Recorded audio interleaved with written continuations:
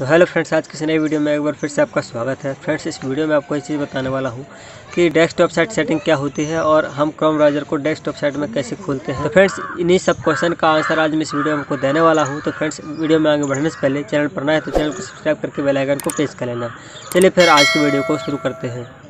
क्यों खोलते हैं? तो बहुत ही इंपॉर्टेंट चीज़ है दोस्तों कि आपको पता होना चाहिए। यदि आप लोग मोबाइल फ़ोन यूज़ करते हैं और यूट्यूब पर काम करते हैं तो फ्रेंड्स, मैं आ चुका हूँ मोबाइल के होम स्क्रीन पर। अब आप देख पा रहे हैं, ये क्रोम ब्राउज़र है।